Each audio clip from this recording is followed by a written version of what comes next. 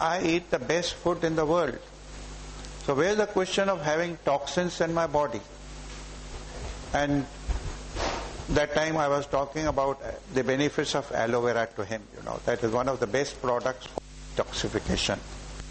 Because aloe vera contains 75 ingredients, 50 ingredients are relating to energy.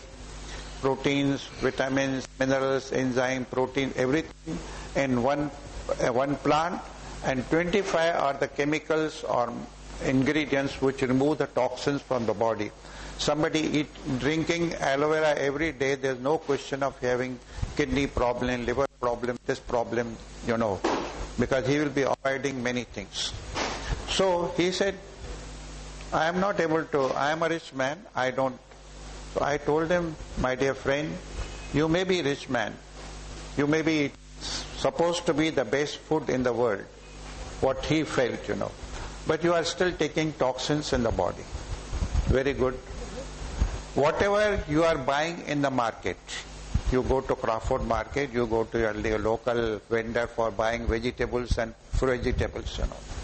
Now, when they grow these vegetables, they normally use, most of them use 99.9%, 1% are using organic, but otherwise 99% are using four type of chemicals in making those things.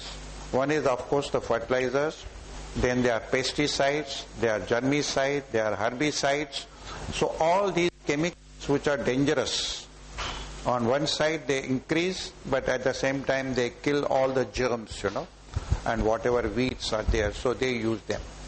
Now when we bring them at home, we wash them. And we wash them once, twice, and we feel that, okay, all these things are gone. But do you think it is gone? Everything is gone, which has gone into the production of the vegetables or things? As I said, there are two points. One is cleaning the bowels. Just we are talking of the subject, which is the, you see, that where the toxins in our body, which also cause of so many of our problems, not only this thing. Now, this man who is a rich man, you see, he feels that whatever he is eating the best in the world, so there's no question of any toxins getting into his system. So one of the things which we say that toxins come out of the food which we eat. Whatever food you are eating today, while making it, it could be wheat, it could be rice, it could be anything, it could be vegetables, it could be fruit. Most of the farmers use these type of chemicals and even after washing these chemicals for two times, or this washing this thing for two or three times, still the chemical, some part of the chemical remains in the system and which when it goes inside, the chemicals become toxic. This is one source of the, whatever food you are eating. What is, could be the other source of toxins out of food, you know. What we call today's time is known as cola culture and it is also known as pizza culture. You see, junk food. Now, junk food obviously is something which is, which, you know, junk food is what we call fast food, you know. You get it fast, you eat it fast also, you see. And obviously we are not digesting the whole thing. But apart from this junk food, Today in India, we are developing a new habit of going and going, getting things which are in the departmental stores, what we call different type of packed foods. Now all these packed foods, they contain preservatives, which are nothing but chemicals. They contain colors, you know, which are again chemicals. They contain, you know, different type of materials to make it, you know, more tasty and there are certain things which make you addicted. They found McDonald's selling the this uh, chips in countries. They were adding certain chemical. Once you start eating, you start feel eating more and more and more. Same is with the wafers which we buy every day, Lay's and whatever you know. You start eating, you don't start living. And in foreign countries, this habit is very common, watching the match or watching TV and all. They go on just putting in the side, you know. So because these are things which are chemicals which make almost addictives, you know. So all preserved food, all this sauces, ketchups, everything, they contain chemicals. These chemicals, when absorbed system, they convert to the toxins. Next is we drink water, we drink we drink all types of juices. Again, I'll make cleaning water itself. What they use in cleaning the water? Chlorine, bleaching powder, you know, alum. What are they? They are all nothing but chemicals. So even we say it is clean water, but at, it contains some chemicals which they have used in the, if there is a municipal water, but even in our water coming from the your aqua guard or whatever, it cannot be pure water. Cannot. Because to make 100% pure water, we buy these bottles, 11 and 12 rupees, are quite happy, you know. They made analysis found there was hardly difference between a tap water and this water. The Pepsi Cola which we were drinking without, you know, knowing, or all these things, they found there were more, more quantities of pesticides is permissible in the law, you know. So cases were going on. So like that, most of the water, most of the liquid things which we take, even milk. Now we don't know. You get the milk every day in the newspaper. You read that somewhere, some some uh, slum area, they were moving the milk with the with the injection and putting dirty, uh, putting the water. And what dirty, what water you get in slums, you know all of you. Even in cities, you know properly. We don't know what. So we are getting lot of toxins and chemicals out of the liquids. Then what else? All the environment, you know. Environment pollution, if you read two days back, that if somebody is having environment environment pollution in big cities increases the obesity. Now this is something which I also didn't knew that environment can, but I knew that environment means you go and stand near the VT where the cars are standing and lot of pollution is there in the atmosphere. Now slightly less because of this thing. Gas, earlier petrol, but diesel is still there. And one of my friend who was there in one of the uh, companies, cigarette companies, when he was offering another friend a cigarette, it was in Breach Candy Hospital. So his wife said, why are you offering him cigarette? Cigarette is a good thing? Is it good thing or bad thing? so he said, well, I'm not offering him something different, you know. When you go and stand near VT or any junction where there are 50 cars or 100 cars waiting for the signal to go, you are already taking one, two, three cigarettes without touching them.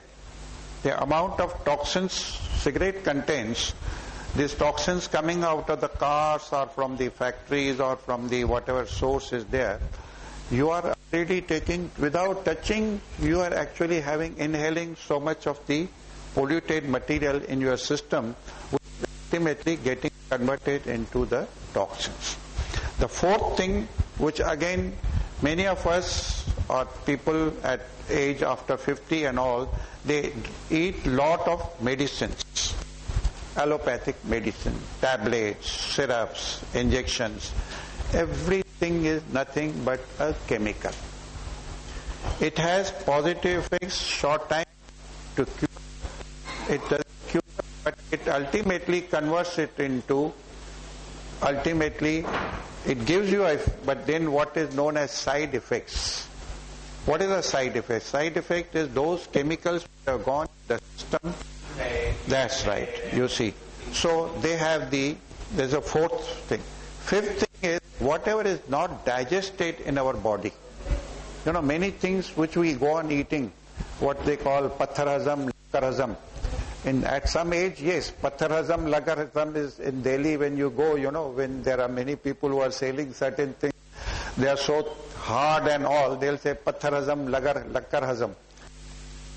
At a particular age, you know, we cannot digest, or many of many things which we eat, they don't get digested, and they ultimately get into absorb, they uh, you know, toxins and get absorbed into our blood. So there are five sources of toxins. Which this man said that I am not having any toxin in my body. Now these toxins have to be removed and they have to be removed by the natural process of elimination of bowels and all. And constipation is one area where one has to be always careful. And one of the, I, I don't know, I last time told you this particular uh, anecdote. I went to a saint and he said, if somebody is really constipated, I can give you an assurance or a guarantee that this man must be a miser. So I was wondering what has misery, being a miser, to do with the constipation. He says, what is a miser? Miser is a person who doesn't want to give anything. You know? How do you define? He wants to have everything with himself, he doesn't want to give. So this man constipated, one of the reasons could be that he is a miser and he doesn't want to give up. And what my friend was telling here, forcefully trying to throw material. So if somebody is having constipation, please check that you are not a miser. Be, you know, little liberal in giving to other things, you know. Okay. Now, there are few things that which we have to we have to know two things. One is what is our excess weight, if we have excess weight compared to our body and ratio of the height. Second is what are the nutrients available in different type of foods which we eat. Now each food, as I say, contains the uh, iron, it contains phosphorus, it contains calcium, it contains minerals, it contains vitamins.